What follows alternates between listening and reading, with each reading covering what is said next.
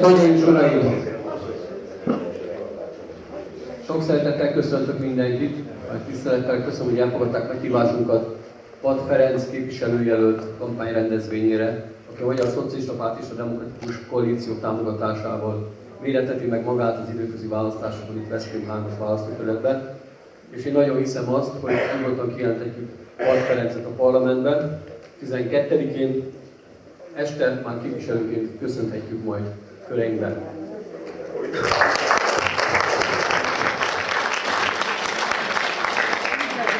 A mai rendezvény két részből áll, aki rendszeres látogatója, az már ezt megszokhatta. Egy szórakoztató blokkal kezdenénk, és e tekintetben nekem egyetlen feladatom lesz, hogy színpadra szólítsam. Mi meg tapsal köszöntjük Deusza John művész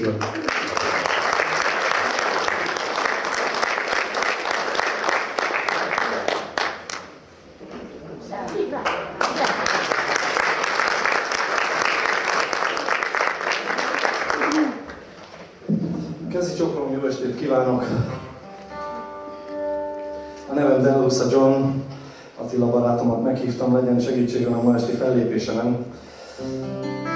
Meggyőződésem, hogy jó helyen vagyok, jó időben.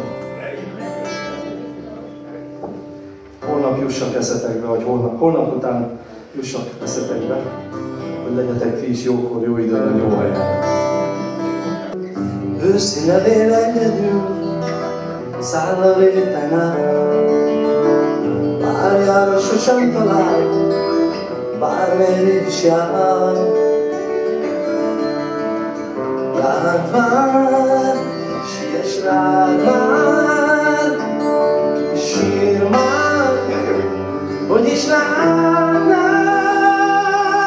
كتاب عطار ونعمل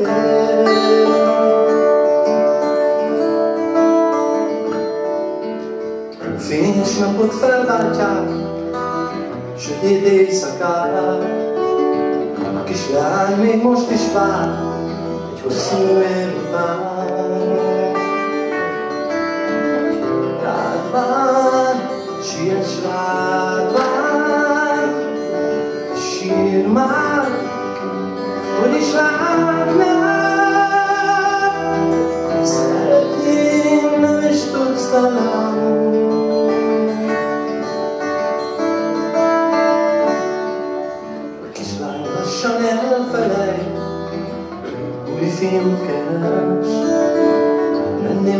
and ceiling shine you massage Je veux banane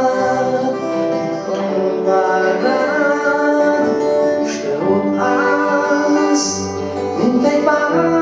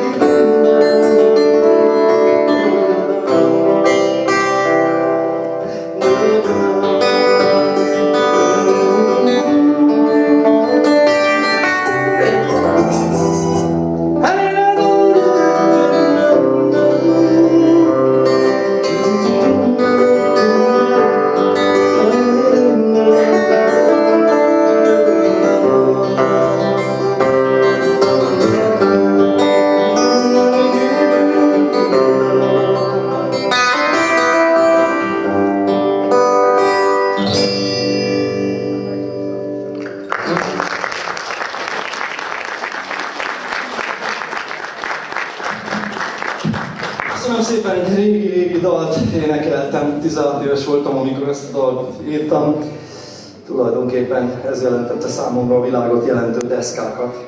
Remegő lábakkal álltam a Budapesti Erkel Színházba. Édesanyám itt oda, mert sok zuglóban voltam otthon, nem tudtam, hogy néz ki a belváros, édesanyám elvitt.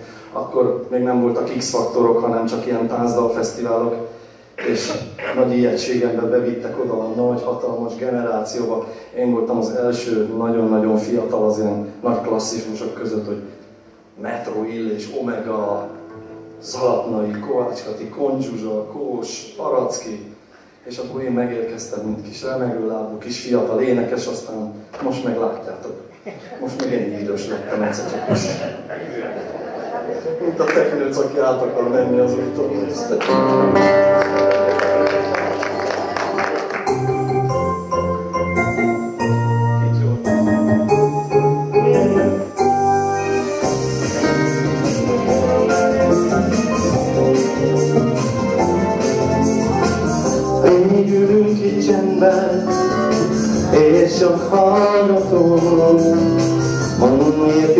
Össze, ha nincs mit mondanom.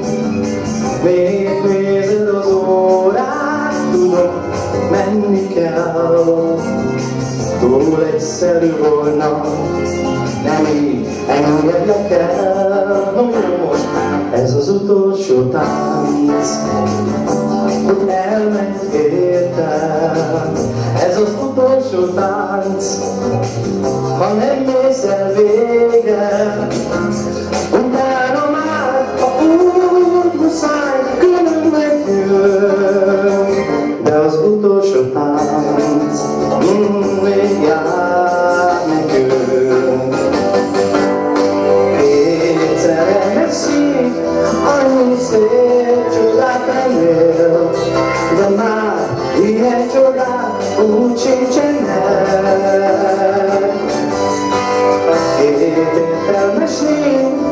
lény, hirtelen csak észretér, tényekkel vitázni nem lehet. Ez az utolsó tánc, aztán mindennek vége. Ez az utolsó tánc,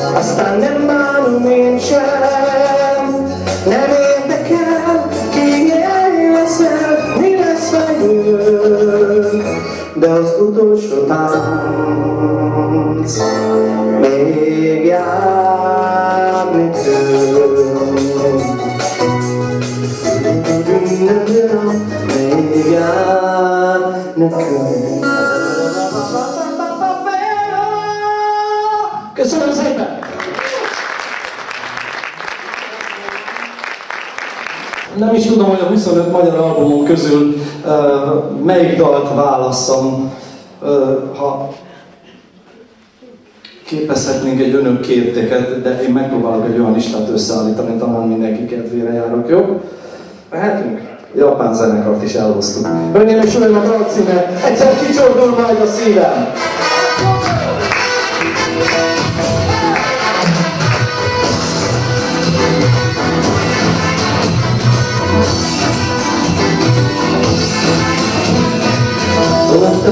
Emlékeztél az állomásra?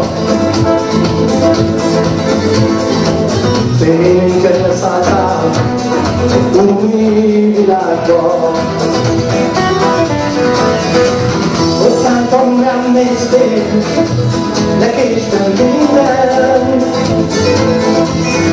Nekem új világ lettél, a sínek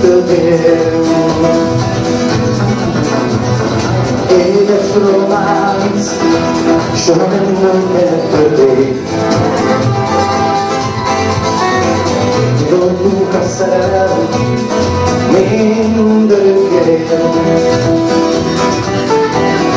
Ainda Só lançar será. Esta minha quer forçar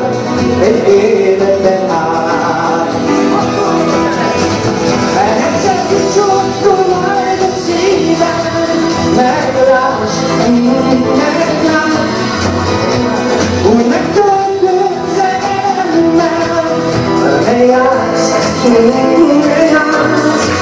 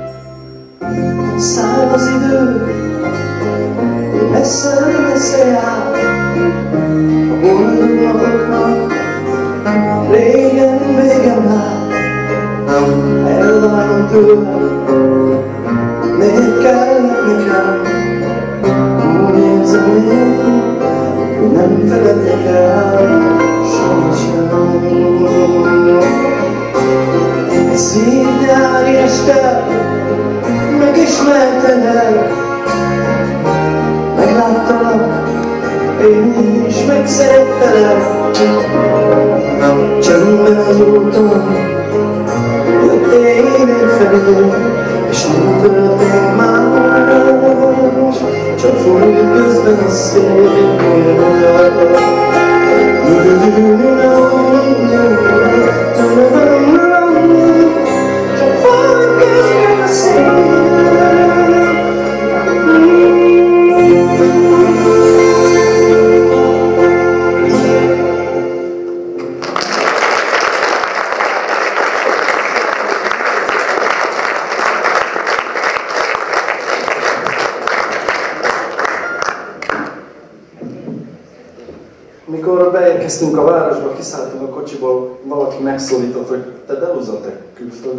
születtél? Mondom, nehogy külföldön, én már itt. Azt mondja, itt a polcán.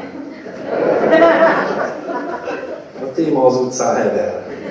Most már értem, hogy Hofi Géza bácsi miért járt mindig egy darab zetlivel, akárhol vidéken voltunk. Amikor elkezdtem énekelni, akkor ilyen hakni brigádok léteztek, hadd anekdotázzak. Ráér egy pár perc, belefér? Ezek a gyökereink. Tudtad. Igazi magyar. A tehetség mindent megbocsát. Szóval, lényeg az, hogy, hogy ilyen hakni brigádok léteztek. Én meg a 16 évesen én meg a Szűcs Judit, mi ketten kerültünk, de ahogy mondtam, a nagyok közé, és remegő lábakkal ültünk, befogadtak egy hakni brigádba. Hakni brigádok voltak, ugye a háttérben senki nem tudta, hogy néhány szervező, és ahhoz, ahhoz a szárnyai alá tartozik ebbe a hakni brigádba mondjuk 10 művés. Én egy olyan hakni brigádba kerültem be, akit úgy hívtak, hogy Darás Hakni, így híresült el.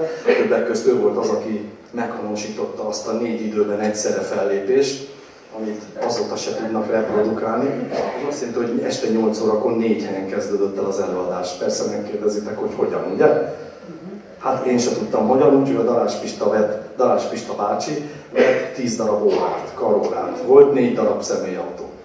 Ugye a stábban abból állt, hogy na, nem akarok szerintem előről kezdeni, inkább hátul, hátulról, vagy előről kezdem Hofi Géza, Német Marika, Lata Bárkálmán, Rodolfo bácsi, és én meg a Szűcs mi voltunk az úti költségpénz, mint később megtudtuk. Azért vittek, mert egyre több úti költséget föl lehetett venni, nem azért, mert tehetségesek voltunk, vagy sem. Másra nem, egy szempontból jó volt, felszettem a Szűcs Juditot. három hónapra, akkor, mikor 18 éves kislány volt, két hónapig jártunk együtt, aztán amikor befutott a Táncolj még című dallal, aznap este már nem is köszön nekem. Pedig ezelőtt most az oknimat. Otthon egy szoba gémes kutas lakásban laktunk, csóró családból származom. Édesanyám, hát el sem mondom. Szóval a lényeg az, hogy eh, ha származásom iránt érdeklődnétek, akkor négy nemzetiségű nagyszülő unokája vagyok. Édesanyám részéről, aki egy ihászlány volt, szintén nem kisebb felmenőkkel rendelkezem, mint édesanyám testvére volt az Ihász Kálmán, a legendás Vasasbal hátvét fotball, kapi, fotball kapitány is volt, az Albert Flóri, meg ez a csapat. Én akkor még hátul gombolos nadrágba jártam, és hát nem kisebb személy, mint neki az öccse, az Ihász Gábor. Én mond, folyton mondtam a Gabinak, évekig mondtam, hogy Gabi, áruljuk el a közvéleménynek, hogy mi édes unoka testvérek vagyunk. Te papád, én anyám testvérek. Nem, Johnny, nem, Johnny, na elvitte a magával a hírt, úgyhogy nem tudtuk elmondani, hogy mi édes unoka testvérek vagyunk. Szóval anyu részéről volt egy német nagymamánk, és volt egy magyar nagypapánk. Így lett ihász. Én a édesanyám, édesapám részéről pedig van egy albán nagypapám és egy görög nagymamám. Attila csak fél deci kevertnek Én, én meg mikor gázsiosztáson mindig oda hívom, gyere csak ide Attila, mit mondtál nekem?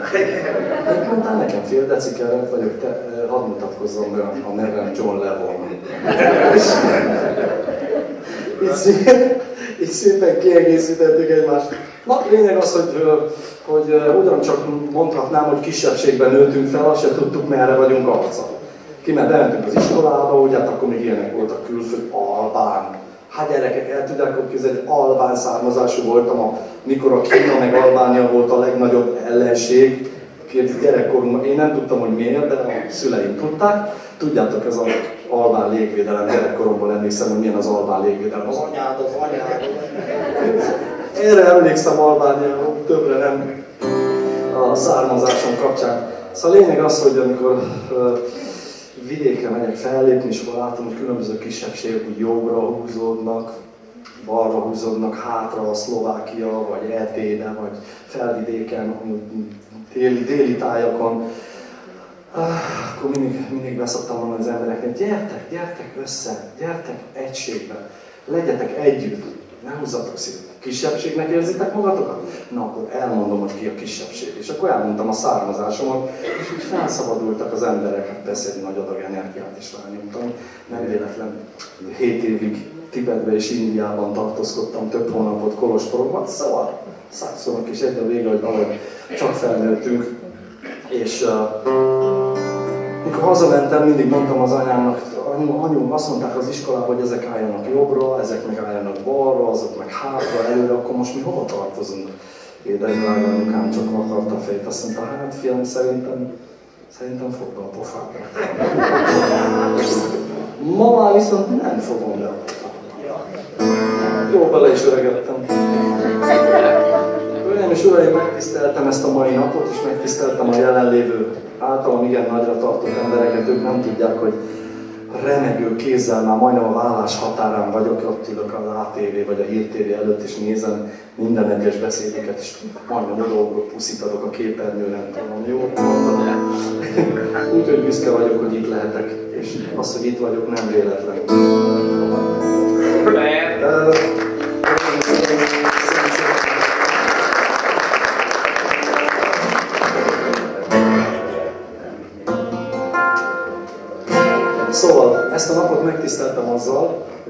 8 ezelőtt írtam egy dalt. Körülbelül az volt a véleményem erről az egészről, olyan ez a sok magyar állampolgárnak, mint hogyha állnánk a busz megállóba és sorra egymás után jönnek a buszok. Mindegyik most más színű. Az egyik piros, a másik narancssárga, a harmadik zöld, és ott vakaroznak a derékpolgárok, hogy melyik buszra kéne szállni, hogy jó helyen legyünk. És úgy gondoltam, hogy ezt a gondolatomat megosztom, megosztom veletek. Két, buszra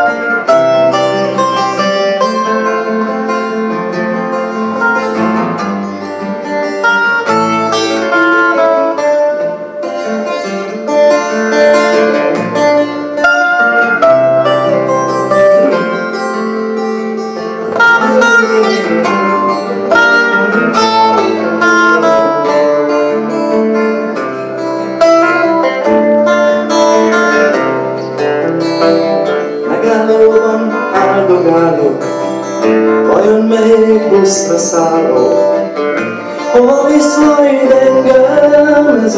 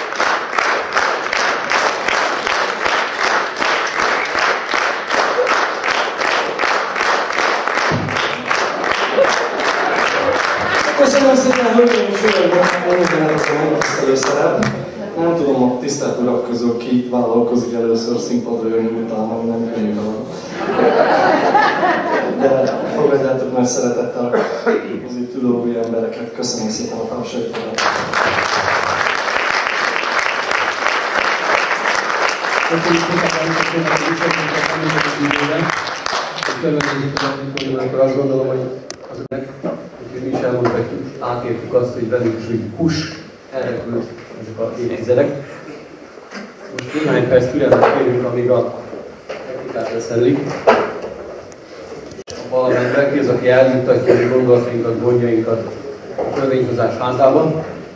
Ki az, aki ott, ki, ott adott esetben az érdekeinket fogja képviselni. Ha plakátokat nézegetjük, akkor azt gondolom logokkal, nevekkel jól el vagyunk látva, hiszen 22-es az induló listája. Ránéztem, egy évvel ezelőtt szintén pont 22 induló volt. A történelem remélem az eu most nem ismétli magát, csak ebben a számban, hiszen egészen más végeredményt prognosztizálok én személy szerint, vagy szeretnék, mint ami akkor történt. Országos jelentőség és biztosan van a dolognak, hiszen a média egyébként nem nagyon érdeklődne irányunkba, különösképpen. Meg azt gondolom, azok a tények, hogy egymást adják, egymásnak adják a kilincset a különböző jelölteket támogató pártok prominensei. Ez is azt jelzi, hogy az indulók számára fontos az, hogy ki az, aki itt az elsőséget megszerzi. Én azt gondolom, hogy e tekintetben számunkra az a fontos, hogy tudjuk folytatni annak a parlamenti kéthalnak a levontását, amiről gyakran hivatkozunk egyébként az országot vezető kormányzat.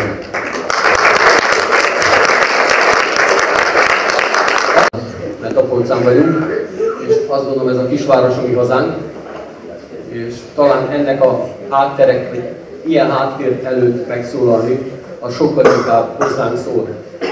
Én azt gondolom, hogy Tapolcán sokban felmerül a kérdés, hogy, hogy sokban ott van az érzés, hogy eddig ahhoz szoktunk hozzá, hogy Tapolca illetőségű az országos képviselő a háttér azt is kifeje, ki akarom fejezni, hogy bár nem Tapolcán lakik, de azt gondolom Tapolcainak is vallja magát.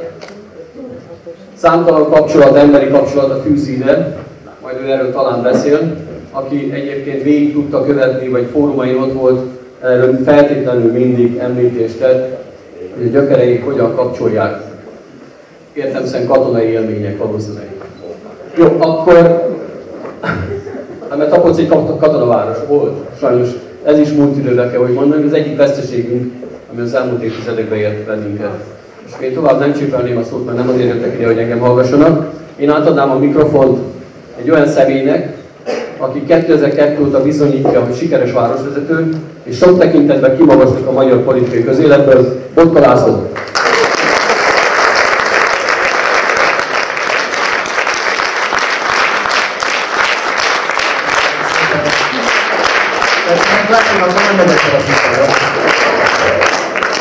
Köszönöm szépen, nagy szeretettel és tisztelettel köszöntök mindenkit, és köszönöm, hogy itt lehetek, örömmel érkeztem, örömmel fogadtam el Patronesz barátom meghívását, és azt is örömmel látom, hogy nagyon szép számban összegyűltünk, ugyanúgy, mint ahogy korod délután ugye Béla Ajkán, az óvó eső ellenére is nagyon sokan voltak.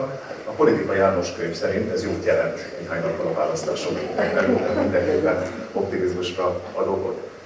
Hölgyeim és uraim, én azért jöttem innen a szomszédból, vagy majdnem, majdnem szomszédból, hogy elmondjam önöknek, esetleg nem tudnák, hogy önöket az egész ország szeme.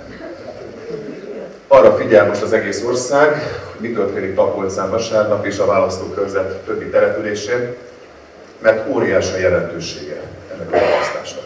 Igen, természetesen igazad van, Tapolca választországgyűlési képviselő, de mégis óriási jelentősége, hiszen ez a mostani időközi választás immáron a harmadik a tavaly tavaszi választások óta, és megnyertük Újpestet, megnyertük ugye Zoli Veszprémet, és most megnyerjük Tapolcát is.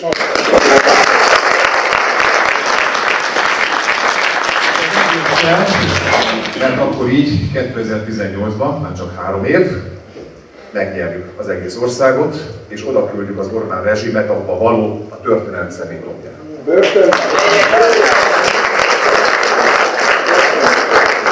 Hát tetszenek figyelni, ugye minden napra jut valami fideszes okoskodás a választásokkal kapcsolatban, Nekem azt tűnt fel, hogy szinte minden Fideszes vezető azt mondta az elmúlt hetekben, hogy á, egyébként olyan nagy jelentősége ezeknek a nemzetközi választásoknak nincsen, úgyse borítja meg, változtatja meg a nagy politikai felállást.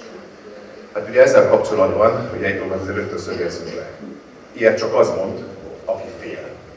És hát azt is látni kell, hogy természetesen itt, és itt van a gonosz hátsó szándék, mint minden fideszes szövegben, egy dolgot akarnak ezzel elérni, hogy minél kevesebben menjenek el választani. Ezért nagyon fontos, hogy a következő napokban önök is ismerősöket, barátokat, rokonokat győzzenek meg arról, hogy igenis óriási a jelentőség ennek a választásnak. Aztán feltűnt egy másik dolog is, egy ismerős dolog. Éppen a rendezvény előtt kérdezte meg tőlem több újságíró, hogy mi a véleményem arról, hogy a fideszesek megint elővették azt az ocsmánykártyát, hogy azt állítják és azt mondják, hogy nem szabad, nem érdemes nem Fideszes jelöltre szavazni, mert akkor nem lesznek fejlesztési pénzek. Ezzel operáltak egyébként össze az önkormányzati választásokon, és elmondom, hogy ismerős ez a szöveg. Hát ezzel kapcsolatban is azért néhány dolgot szögezzünk el. Egyrészt egy normális, élhető európai demokratikus országban egy politikai vezető kétszer mondhat ilyet. Először is utoljára lemondása előtt. Ugyanis ez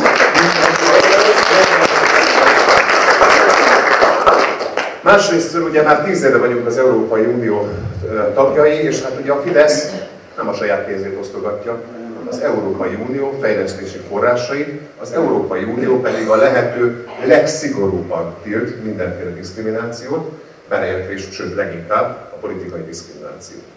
Higgyék el nekem, hogy én órákat tudnék rosszat mondani erről a Fideszes kormányról. De azt is tényként el, hogy mondjam önöknek, hogy az elmúlt hét évben a magyarországi városok közül Szeged város nyerte a legtöbb Európai Uniós fejlesztési forrást, több mint 1 milliárd euró, több mint 300 milliárd forintot. Ugyanis azt mutatja a statisztika és azt mutatják a tények az elmúlt években, hogy nagy különbség volt a városok és térségek között, hogy ki mennyi fejlesztést tudott megvalósítani, de ennek semmi köze nem volt a választott országgyűlési képviselő vagy polgármester pártállásához. Ahhoz volt köze, nagyon fontos köze, sőt attól függött, hogy olyan vezető, olyan országgyűlési képviselő van-e, aki képes olyan célokat megfogalmazni, olyan fejlesztési elképzeléseket kiállni, amelyek összehozzák és nem megosztják az embereket, amely célokért világnézettől, pártállástól függetlenül oda tudnak állni. Ezért mondom önöknek, és ezt adják tovább ismerőseiknek is, hogy Pat Ferenc ilyen jelölt. Ő képes ebben a térségben ezt megtenni, hiszen egész élete az együttműködésről szól, és egész élete a másokért való kiállásról szól, az érdekképviseletről szól. Ezért lesz sikeres és nagyszerű országgyűlési képviselője a polcán.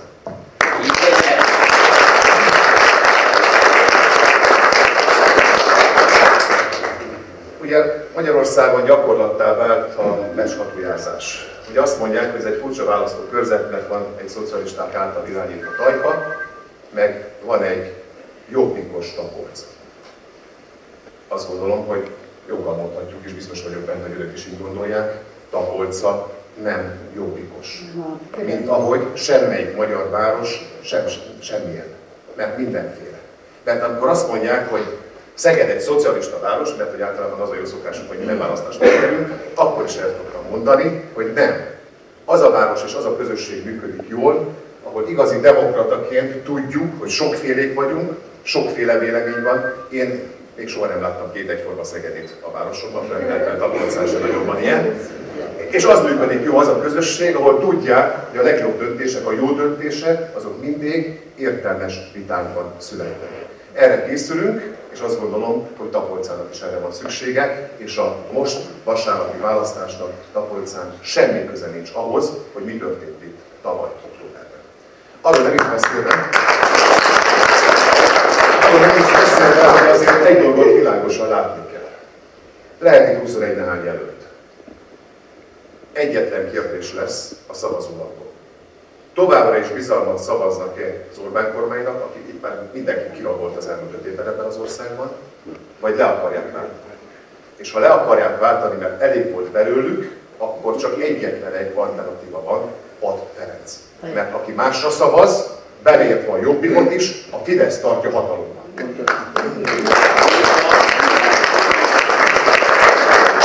Papíron Veszprémbe Kézoli győzelmével megdőlt a Fideszes kétharmad. De látjuk azóta, az eltelt hetekben, mi történik a parlamentben. Ha kell, akkor rögtön hiányzik egy-két jobbikus képviselő. Miért a tanulság, miért a tapasztalat, még jobban le kell mondani ezt a kétharmadot, hogy még több hiányozzon nekünk, hogy tudomásul vegyék, hogy demokráciában soha nincsen korlátozhatatlan. Hölgyeim és uraim, én az elmúlt 20 évben két választást nyertem Szegeden, négyszer választottak meg polgármesternek és háromszor parlamenti képviselőnek. Elég sok választási kampány mögöttem, és választási siker. Egy dolgot egészen biztosan, hogy megtanultuk. És szeretném, hogyha ezt is mindenki figyelembe venné. A választást nem a választópolgárok összessége dönti hanem azok, akik ott lesznek az urnák És nem szabad félni nem szabad félni senkinek, mert amíg van szabad választás Magyarországon, amíg van szavazófülke és azon függően, amit mindenki magára tudja húzni, addig egy x Orbán rezsimet le lehet váltani, csak nagyon fontos, hogy ezt az X-el Pad Ferencre emelik meg.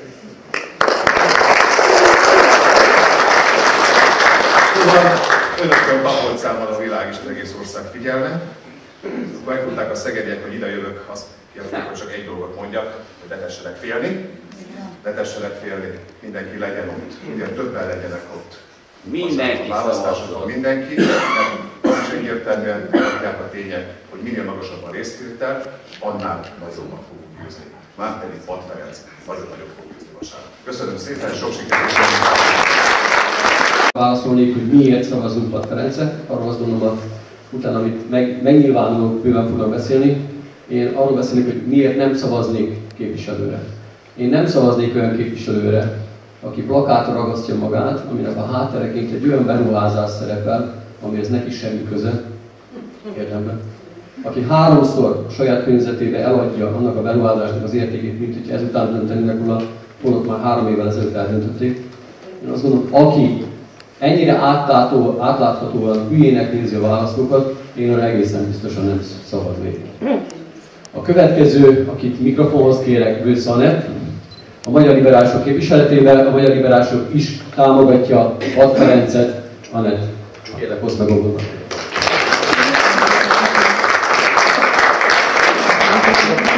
Én is ott szeretettel köszöntök mindenkit. Az itt eszembe erről a helyzetről, amikor a gimnázium érettségit követően az iskolai igazgató utunkra bocsátott minket, és akkor azt mondta, hogy én is hát bizony írtam szöveget, de most otthon felejtettem a papírt, úgyhogy azt gondolom, hogy ilyen egymás mögé rakható papírokkal, meg kézbefogható mikrofonnal az ember nem sokat tud kezdeni, de szerintem ez így családiasabb is, egy kicsit jobb is. Mit jelent az, hogyha most vasárnap Pat Ferenc tudja legyőzni a Fidesz jelöltjét, és végre borít egy ugyanolyan körzetet, amilyet Kéz Zoltán sikeresen fordított Veszprémben. Azt jelenti, hogy a demokraták nem csak a fidesz kdnp tudják tovább gyengíteni, hanem egyúttal egy szélsőséges, rasszista, antiszemita jelöltet is képesek legyőzni. Azt után egyébként is megtiszteltető beszélni. De azt gondolom, hogy ez a legfontosabb, hogy ennek a választókörzetnek a választóira nem éghet rá az a szégyen, jelölt nyert volna 2014-ben. Ne önök legyenek azok, akiknek a nevében egy jobbikos képviselő beszélhet. Egy olyan képviselő, akinek a pártársai olyan gaztetekre adják a fejüket, hogy beleköpnek zsidó honfitársaikra emlékeztető emlékművek cipőibe.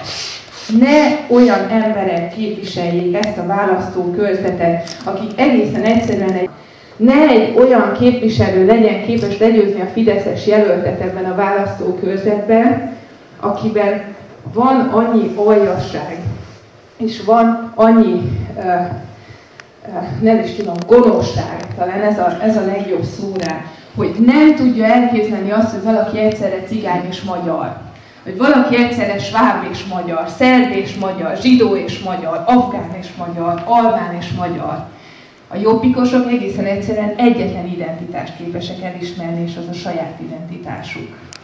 Semmilyen beruházás, semmifajta olyan Európai Uniós forrás, amely egyébként az Európai Uniós polgárokat megilleti. És most mesélek önöknek valamit arról, hogy én mit gondolok az európai identitásról és a demokráciáról, és arról, amit mi együtt demokraták képviselünk.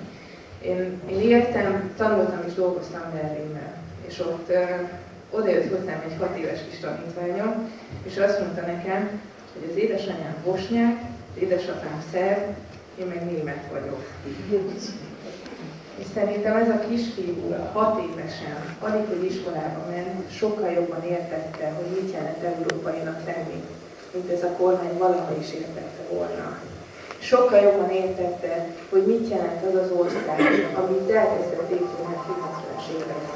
Értette azt, hogy mi az a tolerancia, mi az egymás a tisztelet, mi az elfogadás. Értette azt, hogy mi itt közösen tudunk valamit építeni. És ez az, amit Hortenz nagyon régóta ér. Mert építőleg óta tudja, hogy milyen korán kell, hogy milyen a sajátjaiért dolgozni. És milyen az, hogy ember az egész életét arra teszi fel, hogy egy közösségért dolgozzon. És azt gondolom, hogy annál szebb feladatot nem vállalhatott volna el, mint hogy tovább a két harmadot. Egy, egy olyan embert ismertem meg itt a kampányban, akkor azt gondolom, hogy nem csak, hogy érdemes szavazni, nem kell is, rengeteget tett ezért a kampányért, és ebben a kampányban most a választók a főszerep 10 percébe telik mindenkinek vasárnap, hogy újra egy demokratát tud elegyőzni a Fidesz-KDNP jelöltét, úgyhogy hajrá felé és hajrá demokratát!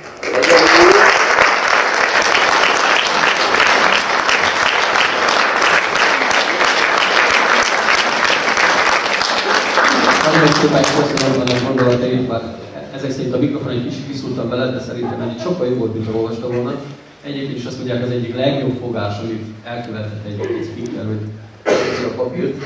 Akár volt ráírva valami, akár nem, innentől kezdve megszabadul egy csomó olyan gátlástól, ami azon, hogy remek beszéd előadására tudja majd itt inspirálni. A következő, akinek a mikrofon átadnám, az pedig Kéz Zoltán, aki tovább bebizonyította. Szép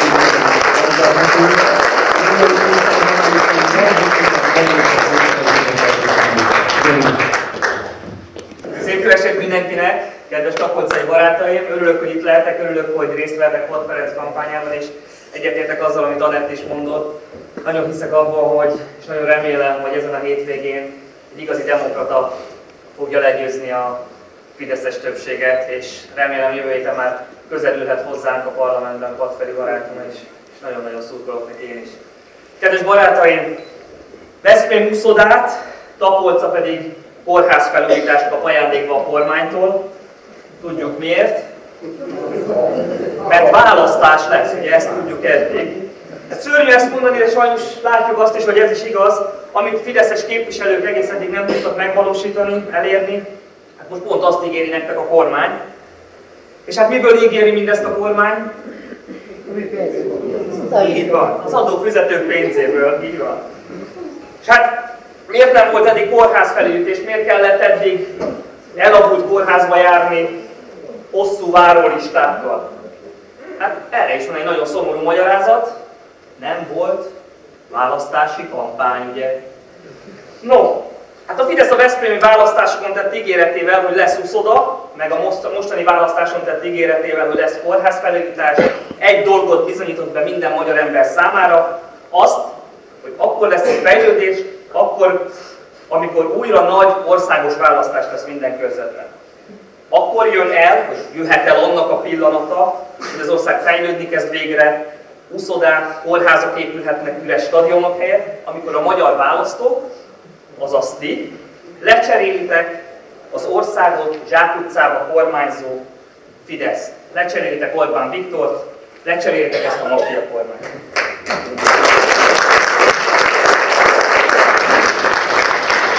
Amikor mindez megtörténik, akkor majd a valódi betegeket fogják gyógyítani, és nem a beteg magyar futballt.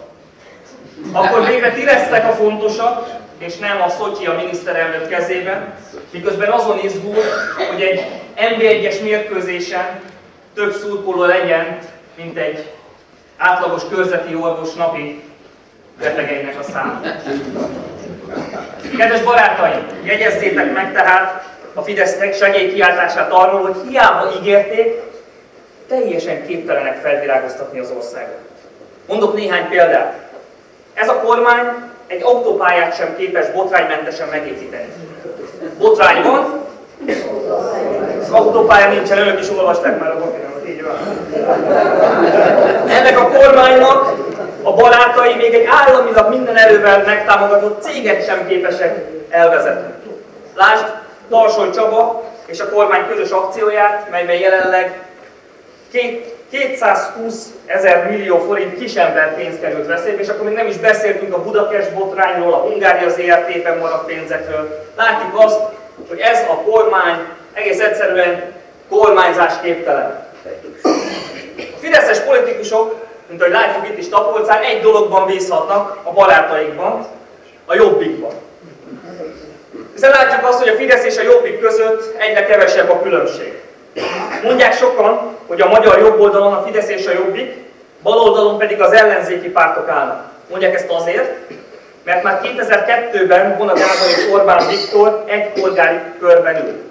Ez igaz, az viszont nem igaz, hogy a Fidesz és a Jobbik jobboldali politikai erő lenne. Ehelyett ők azt a politikát képviselik, mely Európát idegen területnek tartja, és helyette keletet, a félázsiai politikát választja. Ebből azonban mi nem kérünk. Mert mi, magyarok, európai nép vagyunk. És azt üzenjük a miniszterelnök úrnak és a jobbiknak, hogy Európában érezzük jól magunkat. Még ha ők nem is.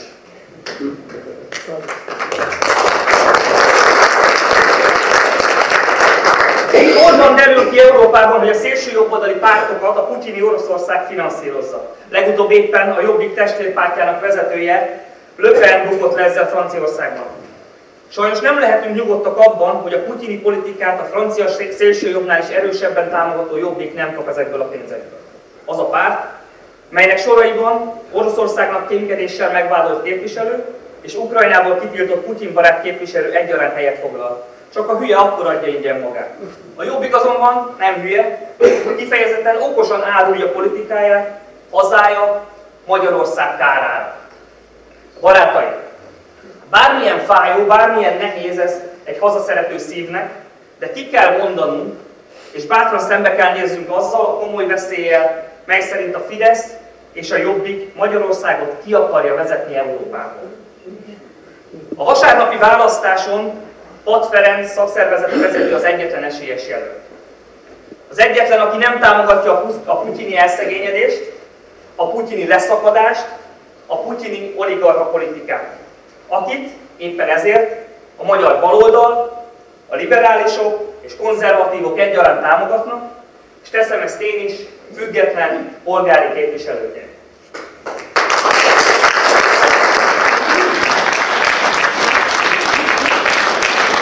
Ezt várja ön is tőlem Veszprém, és ezt várja Magyarország. Mi ugyanis értékrendünk különbözősége ellenére fő feladatunknak tartjuk, hogy hazánkat, Magyarországot ott tartsuk, ahol helye van. Európában. Ott Ferencet támogatjuk tehát, és arra kérlek benneteket, hogy ti is ezt vasárnap. Hajrá Pat Feri, hajrá Tapolca!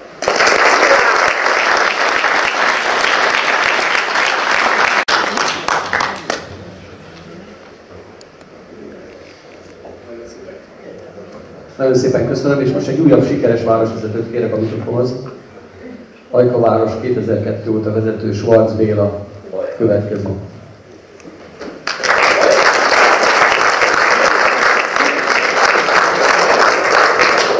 Kedves barátaim, jó estét kívánok mindenkinek! Én nagyon jól érzem magam itt, mert nagyon sok régi ismerőssel, baráttal találkozom. Én a mosdóban, tudom még az embernek az első dolga, egy régi barátom. Jó, te még mindig szabad lábon vagy. Valóban a Orbán kormánynak köszönhető ezt a státuszt, és hát holnap reggel nem tudok részt venni egy tüntetésen, mert újra a bíróság elé kell állnom. Esküvőben már hányadszor, 21 számoltam, de ott abba hagytam a történetet. Tehát ennek a kormánynak nem ebből kifolyólag, hanem abból, amit ott a László barátom, nagyon jól levezetett, és a kollégáim is ezt ecsetelték, menni kell, menni kell. Ugye annyi bűnt és annyi problémát okozott a magyar embereknek, hogy időnként az az érzésem, hogy a szégyellem, hogy ennek a kormánynak a égisze alatt ügyködöm és lapodik a, magyar romba. És hogy most Tapolcától én mégis azt kérem, hogy a csalódásuk ellenére ne okozzunk csalódást az országnak, ez egy ilyen ellentmondásnak látszik. Ugye ez egy azért egy ellentmondás, mert én, én megértem a tapolcai barátainkat, hogy itt sorozatos csalódások, évtizedei és ciklusai voltak, ugye sok száz munkahely megszűnt, leépült a kórház, elmaradt a panelprogram legalábbis olyan mértékben, mint ahogy azt megkívánta volna a helyzet, hiszen látjuk, hogy az Y házak, amik valamikor az ország részére váltak, azok ma hogy néznek ki? Ott tartottunk egy összejövetelt valamelyik nap, és hát szörnyű, komolyan mondom, hát a, a, a, a, magyar állapotoknak a hordozója, az elhanyagoltság, hogy ezek az épületek kinéznek, és gondolom, hogy nem az ott lakók jó voltából, hiszen mindenki szeretne szép új lakásba lakni, hanem ennek a kormánynak a jó voltából, aki, aki nem adott elég pénzt és nem szervezte meg, hogy 2010 után legyen ilyen felújítás és folytatódja a Tehát csalódtak a tapolcai lakosok, a tapolcai emberek, és én most mégis azt kérem, hogy mi ne okozzunk csalódást az országnak. Ne okozzunk. Európa, Magyarország, mindannyian itt a körzetünkben és a környékünkben azt várják, hogy, hogy folytatódjon az a trend, amit, amit azt hiszem Botkalaci említett, hogy elkezdődött Újpesten, folytatódott Veszprémbe, és ugye Zoli révén Veszprémbe, és most hogy itt vagyunk Tapolcán. Tudjuk folytatni ezt a jó trendet, hiszen nem elég arra gondolni, hogy 2018-ban majd nyerünk. Az egy, az egy olyan álom, amit nagyon nehéz megvalósítani, ha közben nem nyerjük. Ha közben nem nyerjük meg a kis lépéseket. És ez ráadásul nem is kis lépés, ez egy nagy lépés. De, de ugye a parlamenti csatározásokat is meg kell nyerni. A tüntetéseket is meg kell nyerni. Sok olyan dolog van, amit meg kell nyerni, de most ez van itt most legközelebb. Ezt is meg kell nyerni, és én arra kérem önöket, ne okozzunk csalódást se magunknak, se az országnak.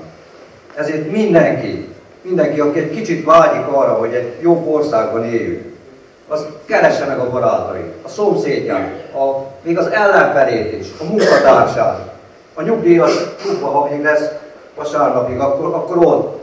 És, és győzze meg őket, hogy hova kell húzni azt az átkozott X-et. De győzze meg békésen, barátságban, de hatalmas meggyőző erővel. Szóval nem nyuszi módjára, ahogy azt hiszem a Laci éppen említette a szegediek üdvözletét, nem nyuszi módjára, hanem határozottan, határozottan, hogy ez egy jó világ lesz, és akkor meg lesz a eredmény. És hogy valóban egy ilyen jobb világ elé nézünk, ugye erre a garancia part felé van Hát part felé mi legalábbis ajkaiak gyerekkora óta ismerjük. Partfeli munkásból lett mérnök, értékesítési vezető, végigjárta az életnek kisebb-nagyobb állomásait, megnyerte mindent, ahogy kérte. Ő eddig mindent megnyert. Nem szeretném, ha ez lenne így a, hogy is mondjam, a, a vége, nem is az lesz. Tehát, tehát Feriben bízhatunk, Feri, Feri egy jó szándékú ember, képes összehozni a különböző gondolkodású embereket. Képes ezt a szétszabdalt Magyarországot, ahol egymásnak esnek az emberek, szomszédok, barátok, családok, pedig képes, képes ebbe egységet teremteni. És bízzanak benne, képviselni fogja a Tapolca érdekeit. A nagy célokat is, meg a kis célokat is, még, még az, azokat is, hogy valaki válni akar, keresse meg a felét. Szerintem ne beszélj róla. Ilyen kis, kis múlik az ember élete, úgyhogy bízzanak a felében, és bízzanak önmagukban is. Úgyhogy vasárnap mindenki szavazon a felére.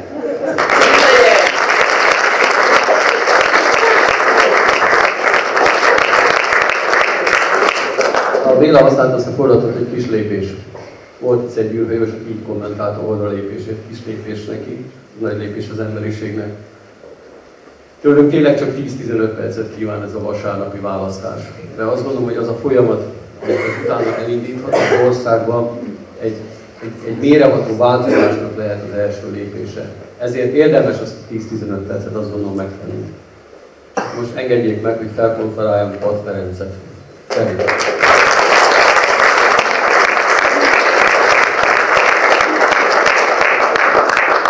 Azért ródoztattam be magam, hogy jobban és összeszedetlen gondolataim legyenek, mert itt az elődő, előttem szólók szinte zavarba hoztak, és biztos, hogy keresném a szavakat, meg akadna a gondolataim. Kedves barátaim, kedves összegyűltek, az előttem szólók mind olyan emberek voltak, akik az eddigi munkásságukkal már bizonyították, hogy van egy másik Magyarország, bizonyították, hogy van összefogás, és annak ereje van. Én ebbe az összefogásba szeretnék belépni, bele kapaszkodni velük együtt, azt elérni, amit már nagyon sokan elmondtak előttem, de azért elmondom én is a saját szavaimmal. Két hónap ezelőtt úgy indultunk neki a kampányban, a kampánynak, hogy pontos céljaink voltak. Azt mondtuk, ha februárban Veszprémbe sikerült, akkor miért ne sikerülne Tapolca a Süveg térségében? Veszprém megye akkor felkavarta a politika örvényeit, avval, hogy Veszprém lakói bölcsek, bátrak voltak. Megmutatták és elkezdték. Megcsinálták. Elkezdték az év kétharmad bontást. Pontosan látták, hogy az utolsó pillanatban ígért milliárd, milliárdok bizonyára nagyon kellenének uszodára is, ide és a kórházra, bár ez már lassan befejeződik. Tehát ez nem volt más, mint átvitt értelemben vesztegetés, szavazatátcsoportosítás. Szerencsére a választókerület, a Veszprém egyes választókerület ezt átlátta, a lakói átlátták, a választói átlátták, és készek voltak kézoltára szavazni. Lehet hinni abba, hogy a politikai kultúra megváltoztatható, és itt a magamon is. Most a kampány végén már nem csak hiszem, hanem már biztosan tudom, hogy kell ez a változás, és nagy változás kell. Itt az idő, hogy elhallasson, elhallasszon az idő a, a bérből és fizetésből élők, a nyugdíjasok, a közmunkások, a munkanélküliek, a perifériára szorultak, hangja a parlamentben. Szakszervezeti vezetőként eddig is a munkavállalókat képviseltem. És most a kampány során látom, hogy milyen nagy ez a tábor ebben az országban. Milyen nagy az a tábor, akik gondban vannak. Milyen sokan vannak azok, akkor másképp fogalmazva, akik nem fontosak a kormány számára. Csak akkor fontosak, amikor szavazatukra van szükség. Csak akkor addig. Kedves barátaim, az elmúlt hetekben kampány során gyakran jöttem Tapolca felé. Sajnos gyakran találkoztam velem szemben szárnyuló mentőautóval is. Ilyenkor összeszorul az ember szíve, és arra gondol, remél időben ér a mentő ajkára. A hírek szerint a nap holnap vagy holnap után Tapolcára érkezik a miniszterelnök. Várhatóan ismerteti, hogy 2012-ben egy rossz döntés volt bezárni az aktív belgyógyászatot és a sebészeti ellátást. 12 ezer aláírás ellenére. Ha így lesz, akkor megvan az első siker. De azért remélem, megkérdezik majd a tapolcéjak, hogy egyáltalán miért tetszett bezárni miniszterelnök. És mi van a többi ügye? Magányugli pénztár, munkatörvénykönyv, vesztorügy, borbezárás, azokat mikor tetszik majd visszacsinálni? Csak lesz elég bátor. Szóval mi baloldali demokraták nem ilyen országot akarunk. Most már azt is tudjuk, hogy miért akarunk helyette. Olyan országot, ahol időben írod a mentőszolgálata, ahol kell. Ahol nem játszadoznak kórház bezárással, nyitással, egészségügyi csiki-csuki játéket. Olyan Magyarországot akarunk, amelyiken közmegegyezés, amelynek közmegegyezésen alapuló alkotmánya lesz. Olyat, amelyben érdemes alkotómunkát, értelmes alkotómunkát lehet végezni, amelyik kegyelemből kapott munkát. Olyat, ahol a munkatörvénykönyve a munkavállalók, a munkaadók jogait is védi, és engedi az érdekképviseletet. Olyat, ahol kiszámítható a jövő, mert nincs visszamenőleges törvénykezés. Olyan országot, ahol nem kell meg, megmenteni senkit semmitől, főleg nem a rosszul működő kormány következő.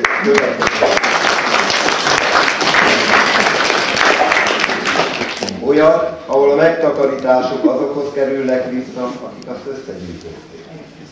Olyat, ahol önállóan, szabadon, kreatívan működhetnek az oktatási és kulturális intézmények. Olyat, ahol a helyi önkormányzatok és civil szervezetek visszagapják gazdasági, szociális, kulturális önrendelkezési jogaikat.